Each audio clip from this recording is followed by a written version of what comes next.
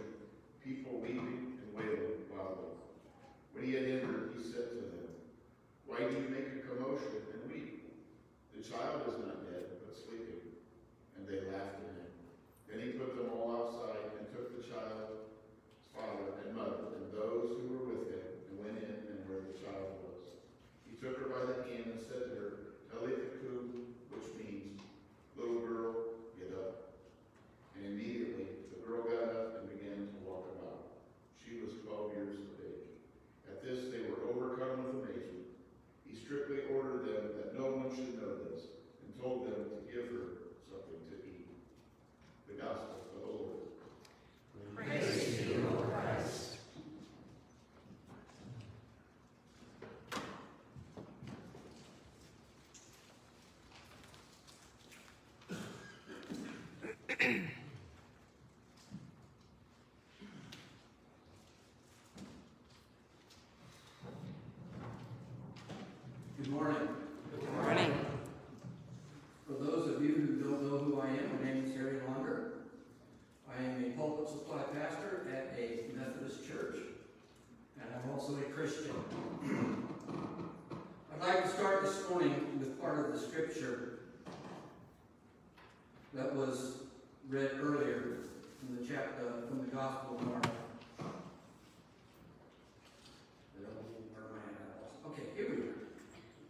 When she heard Jesus, came in and pressed behind him and touched his garment. For she said, If I may touch but his clothes, I will be whole. Faith. Faith is what we live by. For those of you who don't know, for seven months and four days, I was away from home last year. Not by my choosing, not my hands choosing, but by COVID. Uh, many have contracted this virus, some have not survived. I am one of the lucky ones. It started on April 6th with a cough. My doctor quarantined me, and on April 15th, I had trouble breathing. I called the doctor's office and said I needed to get to the ER as quick as possible. My wife was working at the time. I called her at noon and said, you need to take me to the hospital this afternoon. And she did. And according to the rules, we stayed apart as much as we could. She made me ride in the back seat while she drove. I was in the emergency room entrance. They come out and took a swab like they do. And if anybody's ever had that swab, you know how fun that is. About a half hour later, they came out and said, uh, you need to go inside. So I went inside, and they admitted me.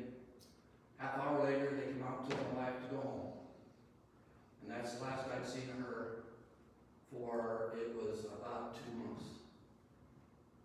I was diagnosed with COVID in Wyandot Memorial Hospital. They put me on oxygen, and when that wasn't working, they put me on a vent. And when they put me on the vent, they decided that they could not do anything anymore. And they called my wife and says, um, he needs to go someplace else. We can't do anything else for him.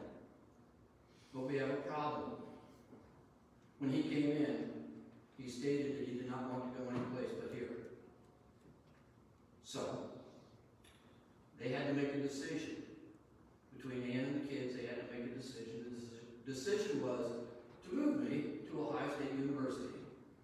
And this is one time that I am grateful that my wife contradicted me. and the kids back sassed me about that too, and I appreciate that too. I did not recall the conversation I had with the doctor until it was uh, told me later. But after I left Ohio, uh, Wyandot Memorial, they took me down to Ohio State University East, where I was down there for three days. They did everything they could for me and decided that I'd be better off over at Wexner Center. So they moved me to Wexner. My stay Columbus was a stay of trials and tribulations. They tried different medications, they tried different procedures, and my lungs kept failing. Basically, it was pneumonia, only worse. My lungs were filling with liquid and I could no longer breathe. Next came the trach tube, which is a hole they put in your throat so you can breathe easier. So now I'm on a vent, I've got a trach, I probably still have oxygen coming in through my nasal cavity. Throughout this time, Anne was not allowed to visit me. And I know that from what I hear, she was getting very frustrated. We did have help. A daughter-in-law from California came in and stayed with her for a couple months, which was great. But I knew now that she was worried. Each day, it was another setback.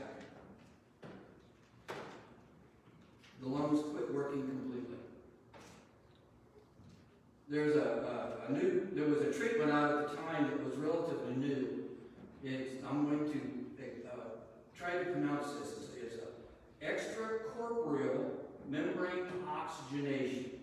They call it ECMO for short. And what that does is that is a machine bypasses your lungs. Takes the carbon dioxide out, adds oxygen in, puts it back into your system. So there's four different types of oxygen I'm getting just to try to stay alive. They was trying everything they could to keep me alive. And this treatment caused a lot more problems. I had blood pressure problems. It was bouncing all over the place. They couldn't keep my blood gases in line. I had kidney failure. It was just a myriad of different problems. And while this was going on, the only contact my family had was through phone. And they then got the call. You better get the family together. We've done everything we can. It's up to him. At about that point, my daughter-in-law decided that they needed to hear my voice. Or I needed to hear their voice, excuse me, got messed up there. They needed to let me hear their voice. So they started calling for a reason. He didn't want me to know what was going on. And I was talking to a, a lady one time, and I said, you know, I was just blessed beyond compare that, that God erased my memory. And she says, you know what I like to call that? I like to call that divine amnesia. God took that out of my mind so I wouldn't have to live it. I don't know if anybody has ever had a severe illness or anything, or been in the hospital and don't remember it. But it is a blessing when you don't remember it. About this time that things were starting to get a little better with them calling, the kids started FaceTiming me. Now, I don't know how to get it up for everybody to see, but there's a picture of me when I was in the hospital. And my daughter was so afraid it would scare her kids. So they made arrangements. The nurses came in, covered me from the chin down with sheets, did my hair up so I could see the grandkids and they could see grandpa. It was after I'd gotten out of Columbus that I was talking to my daughter about this, this very incident. And she says, well, you know, the kids called you a lot and, and read to you. And it clicked. I said, did Case read me a book about sharks? She said, yeah, he did. How do you know that? I said, because I remember him specifically asking, Grandpa, do you like sharks? A memory jogged by an outside source. There's just so much things that went on that I wasn't aware of that only Ann and the kids and my doctors can tell me about. The one thing I do remember though was just a blur of dreams and nightmares that, that I, I, it's still trying to sort them out. The only thing I do remember about the nightmares was that I could never stop moving. If I was in a vehicle, if I was walking, if I was falling, I could not stop moving. And the only thing I can figure is that if I stopped moving, I would have died. After the kids started FaceTiming me, things got better. The, the numbers on the machines come up better. Everything was much better. And then one day, I was laying in bed. A nurse came in. And he said, Good morning, Harry. I said, Good morning. I hadn't talked to anybody that I knew of for a long time. So they went through the whole deal, you know, what's your full name? I told him. Date of birth, I told him. And he looked at me and said, You know where you're at? I looked around, I said, Hospital? you know, kind of like, you know, that's sort of a dumb, dumb question to ask me. But he said, Which hospital? I said, Wyandot Memorial. He said, No, you're in Wexner Center. And right then I knew something bad had happened because of their reputation. And then he asked me the ultimate question. Do you know what today is? I said, I don't know, April 17th, 18th. I want you to imagine this, what it felt like when he told me it was June twentieth. I immediately thought, what happened two months of my life?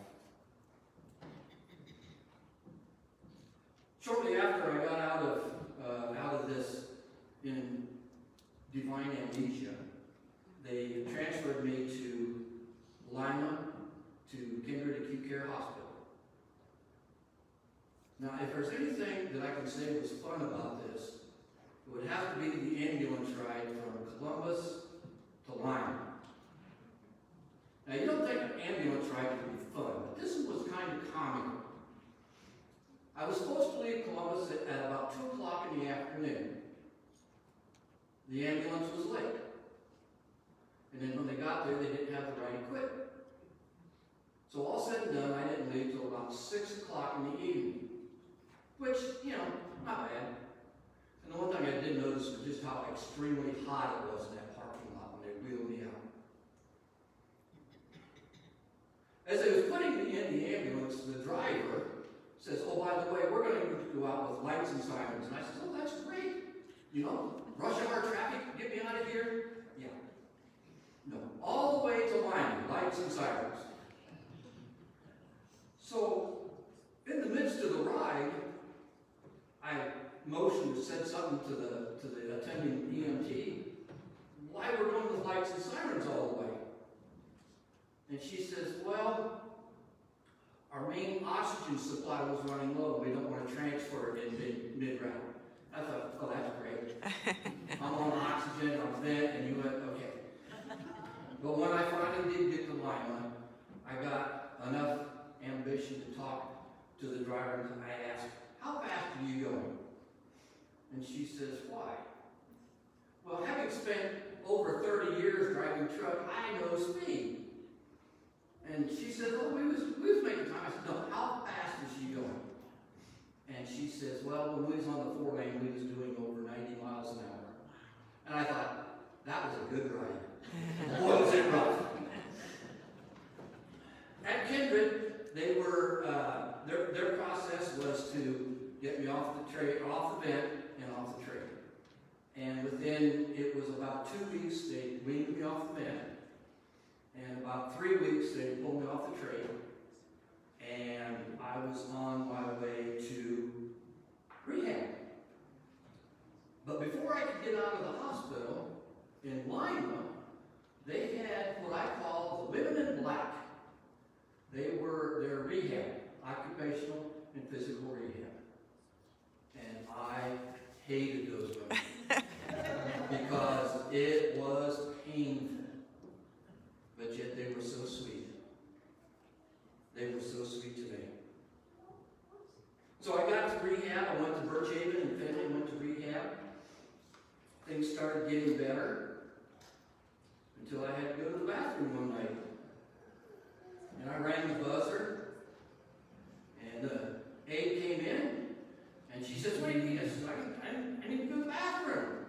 She says, well, you, you do the wheelchair or you walk? I said, no, I still use the van. You have to realize at this time, I could not stand. The only way I could move in bed was to reach over, grab the rope, and pull myself over with my arm. I'd been in bed for almost three months. I had no muscle in my legs. Well, this wonderful lady said, well, this is the last. And I thought, oh my gosh, this is not going to end well. And it turned out that that aide turned, it turned into a great friend. And it was to the point where one time, one day, she came into me and she said, can I ask you a question? I said, sure. She says, I hear you do some preaching. I said, yes, I do. Would you do me a favor? And I says, anything, Betty. Would you pray for my daughter? So right there in our room, I grabbed her hands and I prayed for her, her and her daughter. You see, healing comes in many different forms. Through a lot tears and a lot of, of pain, I got to where I could stand up, I could walk to the bathroom, I could walk out in the hall, I could start walking again. Throughout this whole time, Ann and the kids were so supportive of me. They never once gave up on me. I had two daughter-in-laws that was outstanding, helping with paperwork and uh, keeping Ann company. I don't know how many of you saw the posts on Facebook that my youngest son put on, but he was keeping people informed on that. So many people. So many people lost a lot of sleep and shed a lot of tears, but they stood strong. For some reason, God wasn't done with me here on earth. The prayers of hundreds kept me going. And God's healing grace spared me. No matter how your life goes, never, never give up on God and His grace. Always talk to Him and listen. Listen for His answer. And accept His answer. It may not be what we want, but it is His answer. As I said earlier, healing comes in many forms. You, you've heard my story. You see me up here. My healing came that I got to come home and be with my family. On November 7th, while I was still in rehab, my older brother, who had suffered from COPD for many, many years, passed away. I didn't get a chance to say goodbye to my own brother. But we had prayed for healing for him for years because he had had trouble for years. And before that, my brother-in-law contracted cancer the same time his wife had cancer. And being the loving husband he was, he said, you get your treatment done, and then I'll take my treatment. It was too late for his treatment. And he passed away. And we prayed for healing for Dan, too. The thing was, was his healing came in a different way. Because a, a week or two or somewhere in there before he was before he passed away, he became friends with a local pastor. And his pastor baptized him into the kingdom of God before he passed away. So we have, in one family, we have three instances of healing. Mine, I got to come home. My brother, he got his healing because he got to go home. No more COPD. My brother-in-law, he got his healing by becoming a member of Christ's church. So whatever happens in your life, no matter how bad it gets, no matter what your struggles are, remember you can always, always go to Christ. Go to God in prayer. Listen and obey what he has to say. It might not be what you want. And if you have trouble with prayer, I know a lot of people think that praying is for the for the pastor or the preacher to do. No. It's for everybody. And if you have trouble, just talk to God. Like I'm talking to you right now. Tell him what's on your mind. Tell him what you like. Tell him what you don't like. But whatever you do, listen and enjoy his healing grace. As you continue this year, continue to seek his healing grace. Continue to pray and see where it leads you. I know that I got a lot of cards and a lot of prayers from many, many churches, and I'm sure that your church was involved with it because I know Jane kept in touch with me and, and uh, she kept in touch with a lot of people. So I know your church was involved in it too. As you do that, just remember that sometimes the answer isn't what we want, it's what God wants. Might not be what we want, what we need. So as you go out in this world today, keep praying, keep talking to God, keep looking for His healing grace. And I want to thank you all for your prayers in our times of need.